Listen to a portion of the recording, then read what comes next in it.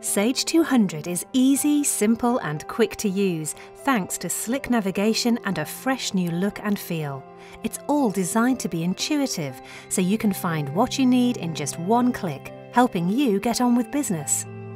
Starting with the homepage, there are different options to help you access the areas of the system you find most useful and personalise it to you. New users may opt for the Getting Started view, which has one-click access to the Help Centre, where you'll find videos and guides to show you how to make the best use of the software. Homepage Favourites works just like Web Favourites. It shows you the things you use most often, so you can get started on what you need to do in just one click. Frequently Accessed helps speed you through your working day. It automatically updates based on what you use the most. So if you do bank reconciliation on a Monday and stock checks on a Wednesday, all the information you need is there on one screen. The search goes deeper to help you find what you're looking for.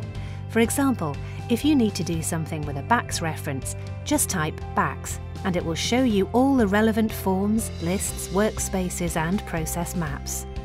Interactive dashboards give you a view of your business at a glance. See what's happening with sales, purchases, orders, and financials. Zoom in or click through to drill down to the details and easily get the information you need without having to be a reporting whiz. New users will also benefit from process maps, taking you through how to do certain tasks step by step and giving you access to the relevant areas of the software in one click. Whether you're using the desktop or cloud solution, Sage 200 makes it easier than ever to access the information that will help you develop and grow your business. Open up to more with Sage 200's new user interface today.